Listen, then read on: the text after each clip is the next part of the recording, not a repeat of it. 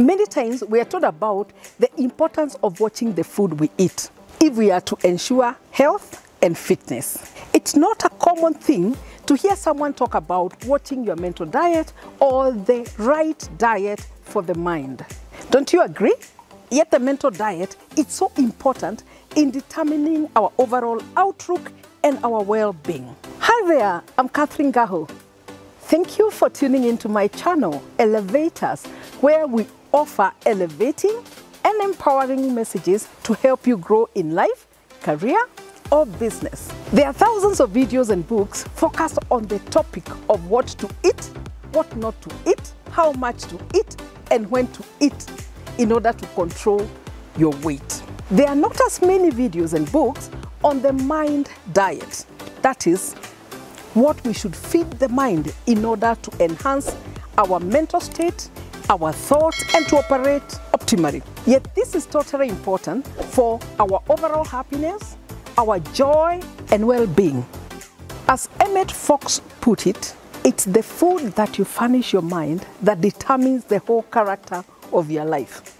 A common problem is the fact that many people think that they have no say at all over what happens in the mind. That makes us play the victim, blaming others for our circumstances. But the reality is that you can do something about it. You can change your mental diet, and it will help you to change your thought patterns and your responses.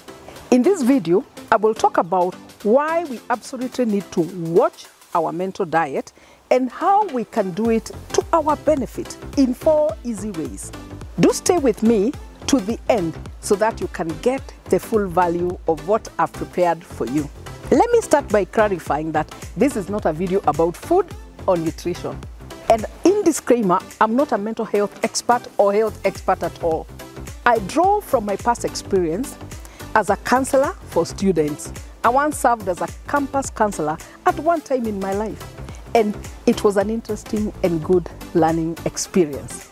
I will also draw from research and from my experience for many years in business where I've experienced all the ups and the downs that go with life in its many facets. Now let's go to the four things that you can do to improve your mental diet. First, recognize the value of the mental diet. In my view, what we feed the mind is critically important because it determines our mental state and how we feel. It affects our confidence and our self-esteem and the like. I like how Brian Tracy puts it. He says that your mental diet largely determines your character and your personality and almost everything that happens in your life. It is key to ensuring that we stay in a healthy and positive mental state. This will enable us to harness enthusiasm and keep our joy and peace. Many people struggle to take control of their mental state especially when things are not going according to plan. Indeed, anyone can be cool and calm and collected when everything is going as expected. It's easy to be cool and calm and positive when everything is going well. When you are getting on well at work, when you have your bills paid on time, when your peers and friends are being considerate and your partner is acting normal. It's when things change and the tough challenges come from different sides of your life that you need special skills to keep you cool, to stay hopeful and confident. Second, decide to carefully choose the content you let into your mind. Your mental diet includes the information you bring into your mind, the content you allow into your mind, and generally, all that you agree to harbor in there in your mind. This mental food comes into your mind through the content you consume most of the time. Check out the content you consume, such as TV programs you watch, your social media activities, the books you read, videos that you watch, the music you listen to, and the movies that you watch most of the time. This make a major part of your mental diet and they influence your mental state. Therefore, you need to ensure that they are serving your best interest. Decide to feed your mind with elevating and empowering content, thoughts and ideas, information that is positive, conversations and engagement that are building.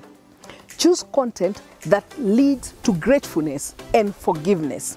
This is something that is totally within our control. We can choose to do this. You have the power over your thoughts by resolving to control what you let into your mind. Thoughts are powerful.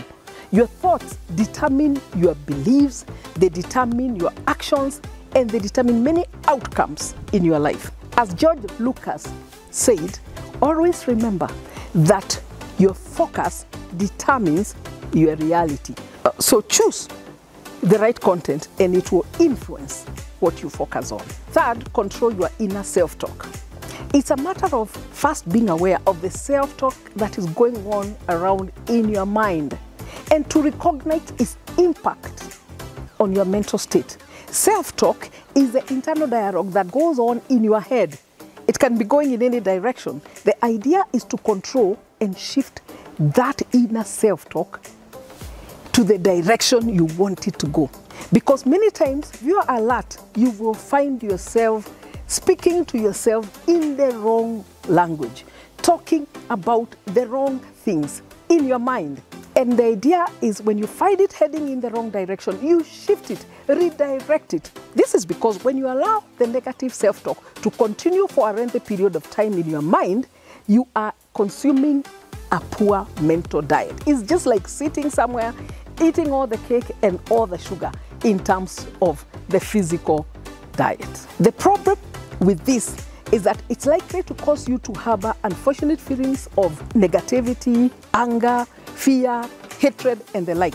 A mind that is poorly fed will tend to generate negative energy and have negative thoughts, which produces negative feelings of sadness and hopelessness. It can make you lose confidence in your own ability to do what you need to do or to even solve problems that you know how to solve. We need to learn how to shift the direction of that inner conversation to a progressive direction. To do this, you need to be conscious of it and to recognize it as poor mental food and to recognize the risk that it represents to your well being. Be on the alert so that when you find it going on in your mind, you tell it to stop. You tell it the direction to go, you shift it. How do you do this? You can shift this by deliberately interrupting it with another more positive idea. I like the recommendation by Brené Brown that you should talk to yourself like you talk to someone you love. Number four, change your pattern of attention. If you find your attention staying on what is not working in your favor, deliberately work to shift to a more favorable direction. Instead of keeping your attention on what is not going well or what is not working for you, consciously decide to quickly shift your attention and hover more on what you want and that which is going in your favor. Train your mind to mostly focus on what you want and not what you don't want. You can shift attention to favorable ideas by trying to recall a good memory. And as you think about it or you struggle to remember, you will notice your attention tends to shift its focus. A good example that I think about what I actually do when I want to shift my attention, I try to think about the times that things were working very well for me. Times I had a celebration, times I had my family over celebrating something. Generally, the mind cannot strongly hold on to two conflicting ideas at the same time. So the minute you start to see these pictures in your mind, the pictures of that event, the pictures of your graduation, the pictures of your party where you are celebrating your birthday or whatever it is, that reminds you of a positive, great time, then the other idea will be forgotten. So everyone is faced by this challenge of keeping attention on desirable things. Our environment appears to conspire to get our attention to undesirable aspects of life. If you watch the evening news, I guess anywhere in the world, you'll be struggling to keep your mind's attention towards the positive or to even see how things could get better. Everyone experiences both good and bad times, but your mental state is determined by the prevailing thought. That is the thought that you allow to dominate your mind most of the time. So, time is important. If you have a fleeting negative idea, that's normal. The problem is do you allow it to dominate your mind? Do you allow it to stay on and occupy your mind? That's dangerous because it can take you to negative territory. So, your job is to deliberately choose to shift attention to favorable things when you find things going on in the wrong direction. Consider this example. You choose to watch a movie based on the description of the storyline. It seems to give you an idea that it's a movie that's beneficial to you that will meet your needs. Then, mid course, you realize that it's taking a different turn. It's going to the wrong direction, a direction that you wish not to be exposed to. Do you keep watching and hope to overcome the challenge, or do you decide to move to something else that will serve your interests better and help to keep you positive, give you a positive mental state? That's a choice you make. It's well within your control. That's what I mean.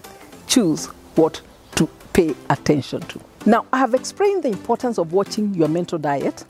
I've also given you four things that you can do to enhance your mental diet. You've also learned why these ideas will work for anyone who applies them consistently. And you know that this approach will work for you too. It works for me. That's why I created this video for you. Do like it and give it a thumbs up and share it with someone who you think might benefit from it. To recap, the four things you can do to improve your mental diet and enhance your well being are one, recognize that the mental diet matters. Second, decide to carefully choose the content you let into your mind. Third, control your inner self talk. And fourth, change your pattern of attention. Do me a favor and share this video with at least one person who you think might benefit. Thank you and best wishes as we work to improve our mental diet in 2021. We all need to elevate our mindset at this time.